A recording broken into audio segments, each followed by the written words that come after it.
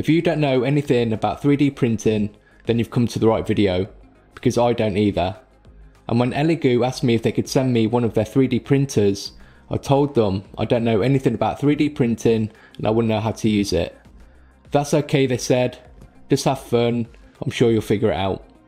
So this is a video about my journey into 3D printing and the process of how it's done. Together we're going to learn all about the steps to printing a 3D object, how it's done and the equipment we use to do it. We'll also look into how we prepare something for printing and what to do once we've printed it.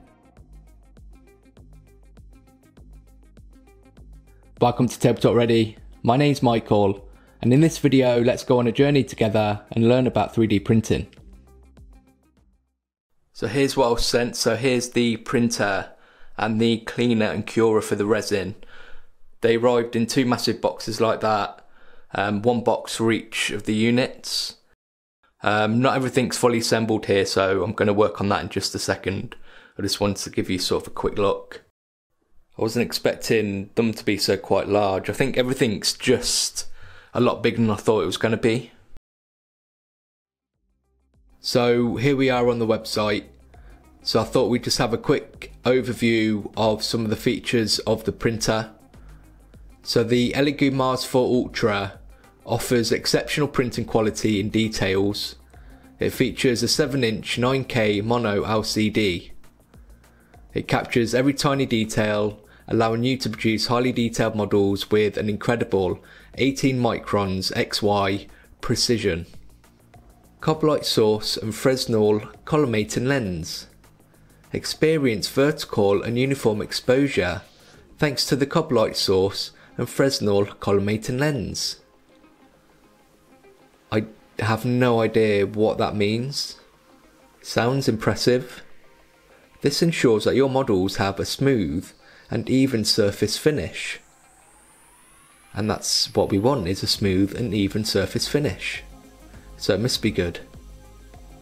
There is a large cooling fan and heat conducting copper tubes positioned next to the light source for rapid heat dissipation. So your light source isn't going to heat up. It's good to know. The upgraded air purifier has a protective plastic case to safeguard the built-in activated carbon filter during transportation and effectively remove resin odour during printing. And with this printer you get a program called Voxel Dance Tango Slicer and you get a license code for it as well. Now we've had a look at what we've been sent, I'm eager to finish setting everything up and learning how to use it. And whilst I'm getting everything set up, I do want to thank the channel members and patrons who very generously support Tabletop Ready and make these videos possible. You can also support the channel and the content I make by giving the videos a like and leaving a comment. I really love hearing about your own hobby. I've just finished setting everything up and it was more straightforward than I thought. The printer has a touchscreen so we can easily navigate the different functions and the printer even comes with a USB stick with files and software already loaded onto it. There's a resin tray which is removable and there's a carbon filter which slots into the back to help eliminate those printing odours. So I've just finished setting up the printer and the curing station and I think we're now ready to do a test print. And doing the test print is going to be pretty straightforward because there's a file that comes on the USB stick that comes with the printer. So there's not going to be any messing around having to get a file from the computer and then sending it over to the printer. And remember, I haven't done this before, so we are going to be doing everything together and that includes getting a print ready, doing a print, getting it cleaned, and then curing it. So I hope you're ready. So there is a file on the USB stick we can use to do our first test print, but first we're going to have to get our resin ready. The resin I'm using is a water washable resin and it comes in a massive bottle like this. I'm using this resin because it was also sent along with the printer. Again, I'm new to all of this, so I'm not really the guy to be asking about the different kinds of resins and what they're used for. But I do know the resin that I am using is recommended and ideal for the printer that I'm using. So let's pour the resin into the tray ready for printing and whenever we're handling the resin, we do need to make sure we're wearing protective gloves and a mask. And then when we're ready, we can start the test print. So I've got the USB stick in. Again, I've not done this before, so I don't even know if this is going to work. So go into the USB file, print and test. I'm going to guess quick test model standard. Print. So obviously you'll want the cover on when doing the print. I'm just doing it so you can see what's happening. The way a resin printer works is it uses UV light to set the liquid resin and it builds our print in layers. The file we send over to the printer will have each layer saved so the printer knows what areas to set the resin. Once it's done setting a layer, you'll see it moves up ready for the next layer and slowly our object is built up.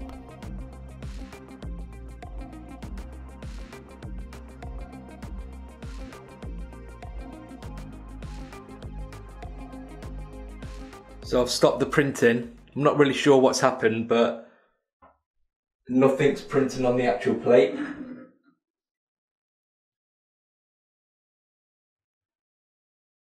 I think it started, so I'm to have to have a look and then we'll give it another go. I've removed the excess resin and as you can see it has printed something and there's even something on the actual plate. So I'm thinking what's happened is is that it's not cured right and it's not stuck to each other maybe. The other thing as well is I might have um, used the wrong file for printing. So this thing that I was trying to print wasn't set up correctly. So I'm just going to go away now and reset everything up and make sure the actual plate is level correctly because that might be another issue. And then I'm going to try and print off what I think is the file that is actually meant to be printed off. So we'll see how that goes. So we're in the software that comes with the printer. It's the slicing software that you use to get the objects ready for printing. And this is the object that I set to print first.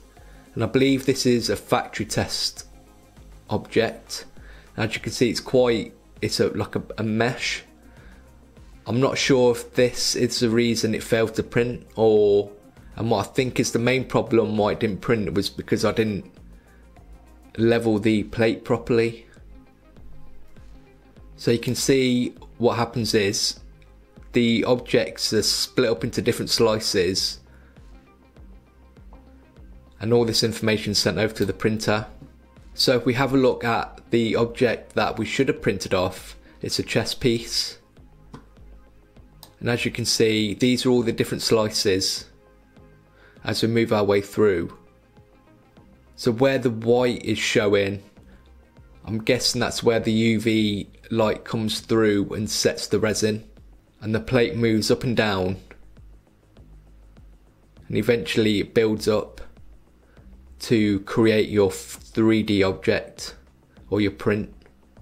So it might have been the leveling plate not set properly, or it might be because I chose the wrong file.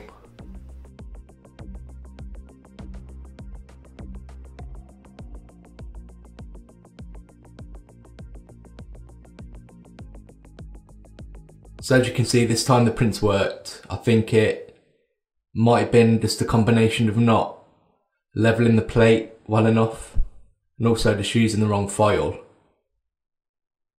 So it was really user error. But I'm really glad that we managed to get a print. So I'm just going to leave it to sort of the resin, the excess resin to drip off and then we'll have a look at cleaning it and using the curing station. Once the print is finished, we'll need to remove it from the plate using the provided scraping tool. Now we've managed to successfully print something off, it's time to get it cleaned up and cured. which is going to be made a lot easier using the Mercury washing and curing station.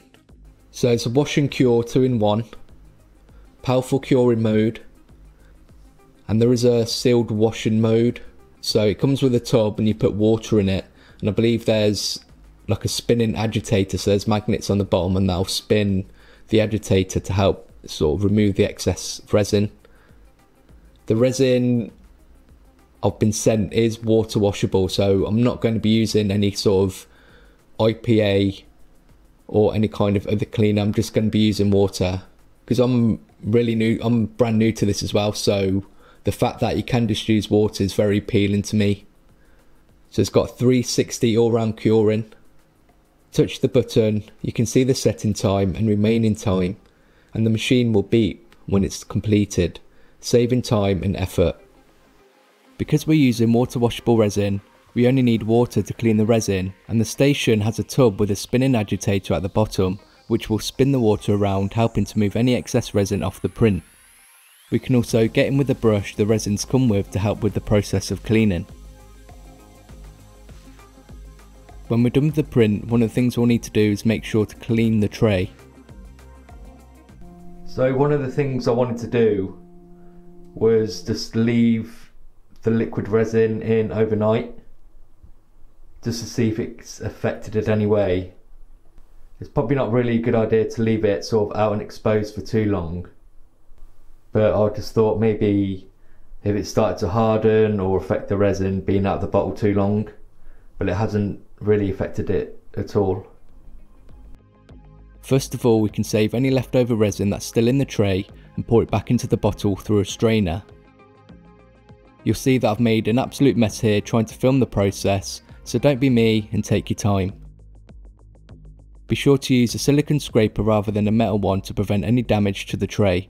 The tray itself can be cleaned with water as well. So here's the aftermath of a few prints and getting them cleaned and cured.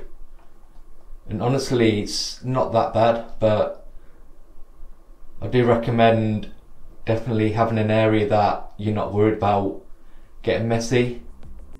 Once our print has completely dried, we can swap out our tub for the small circular platform.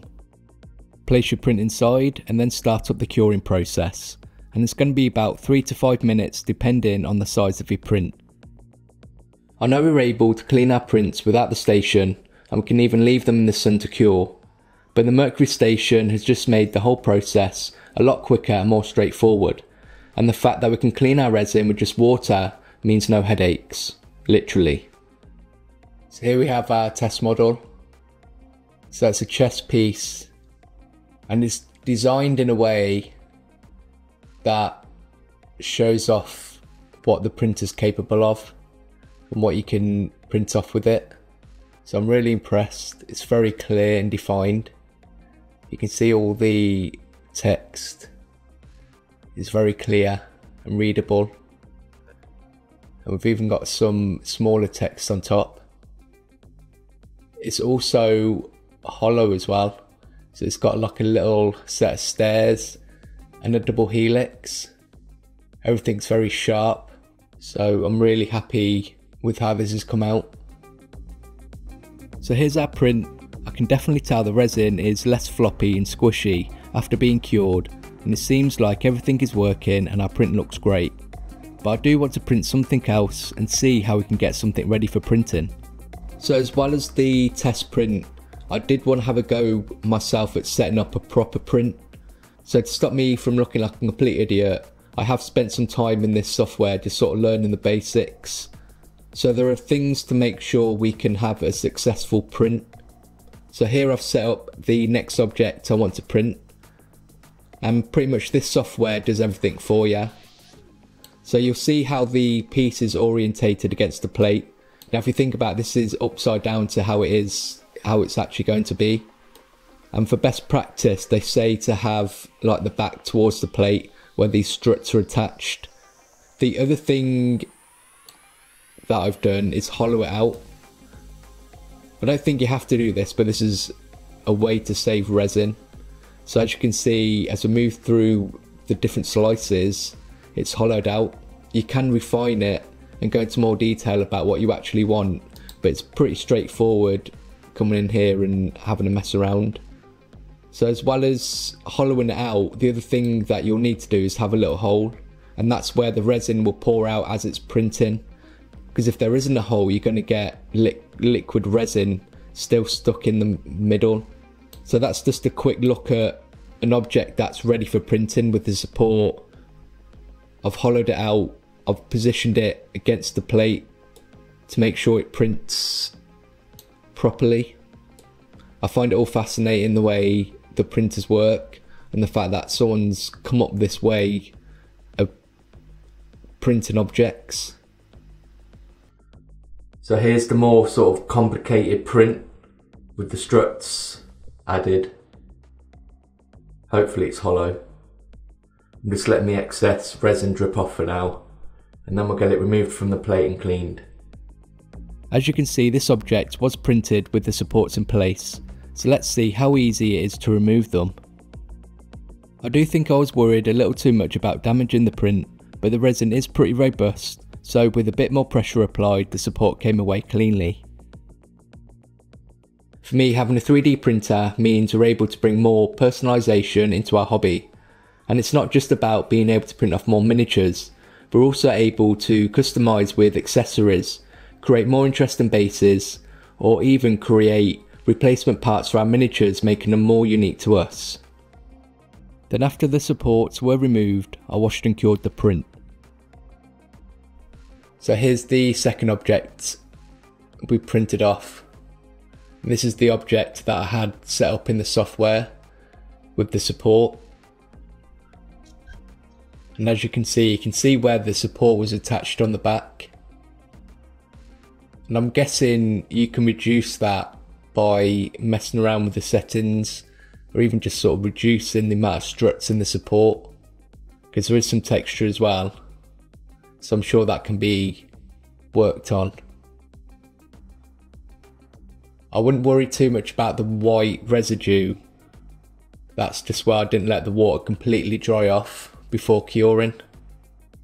And it did print off hollow. You can see the drainage hole which, which worked. So there's no resin still sitting inside. But one of the things I did notice that there is a bulge on the bottom. And I think that's just because that's where the print was sat flat while it was curing. So this bit here didn't get cured. And inside, I'm guessing like the air inside must have expanded and pushed it out. So just make sure to cure any base as well. But overall, I'm really impressed with the detail and quality that it can print. And I'm really looking forward to seeing what we're able to do with it in the future.